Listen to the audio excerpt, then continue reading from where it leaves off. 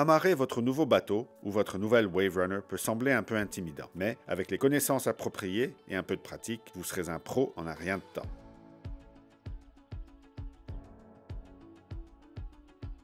Qu'il s'agisse de remiser votre bateau la nuit, d'amarrer votre Wave Runner lors d'une pause, vous devez suivre certaines étapes pour que tout se passe en douceur. La première étape consiste à vous assurer que vous disposez de l'équipement nécessaire pour faire le travail. Cela commence sur terre en vérifiant que vous avez les lignes et les défenses nécessaires pour amarrer. Vous voudrez également confirmer que vous avez des points sécurisés à la proue et à la poupe de votre embarcation afin de fixer vos amarres en toute sécurité.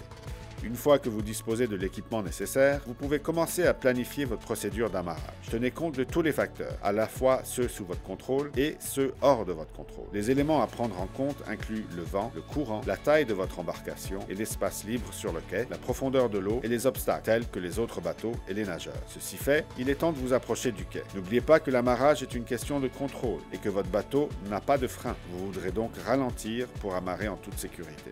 Si vous approchez d'un quai, qui est disposé en parallèle avec la rive, il est préférable de pointer votre proue dans la direction du vent et du courant et d'approcher le quai avec un léger angle. Cela vous permet d'interrompre votre procédure d'amarrage en toute sécurité en retournant vers l'eau libre. Si vous vous approchez du quai en suivant le courant, il est possible que le courant vous pousse au-delà de l'espace d'amarrage prévu. Lors d'un amarrage perpendiculaire au rivage, vous voudrez emprunter une approche en J ou en J à l'envers.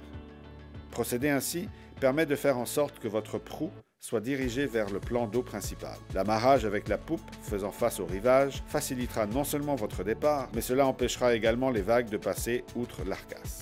Si vous avez le choix de vous amarrer de chaque côté du quai, il est préférable de choisir le côté qui va avec le courant. Cela aidera à maintenir votre bateau loin du quai au lieu de le heurter. Si vous n'avez pas la possibilité de vous amarrer du côté opposé au courant, assurez-vous simplement d'utiliser beaucoup de défense d'accostage. Une fois votre bateau à quai, il est temps de l'attacher. Il existe plusieurs types de nœuds et chacun a un objectif précis. Celui que vous choisissez dépend de votre niveau de confort et des options qui se dressent devant. S'il y a des bâtons que vous pouvez utiliser, vous pouvez jeter un simple nœud en boucle autour du bâton. Si vous travaillez avec un taquet, vous pouvez faire un nœud demi-clé. Quel que soit le nœud que vous utilisez, la meilleure pratique consiste à vous assurer d'avoir une corde pour attacher la proue et une autre pour attacher la poupe.